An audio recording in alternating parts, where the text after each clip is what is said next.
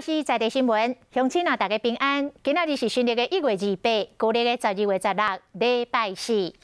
今仔日变天了，强烈大陆冷气团导南，气象局针对全台湾十五个县市来发出着低温的特报。全台湾各地阴暗会愈暗愈冷，北部地区日时的温度已经落降到二十度以下，暗时啊会搁较低，会低到十度以下。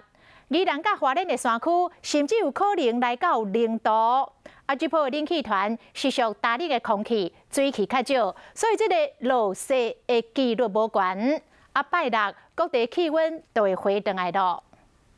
公园内底未少民众拢穿厚外套，规身躯包安安。因为强烈大陆冷气团落南，全段各地愈晚愈冷。北部最先感受到气温的变化，今天北部的高温就不到二十度，跟昨天相比大概有三到四度左右的落差。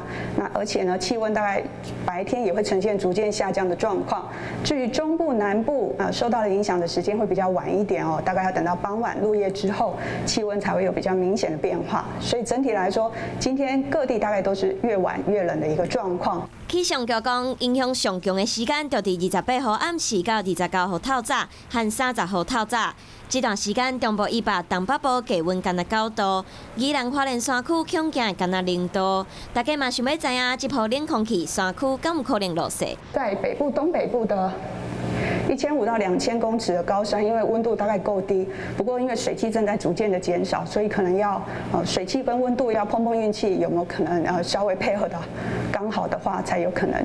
所以整体来说，下雪的几率是比较低的。虽然落雪几率无悬，不过气象局也是针对北部、东北部、西半部十个行政区发布低温特报，嘛要提醒民众出门在外要写会记得加套一领衫，穿好些。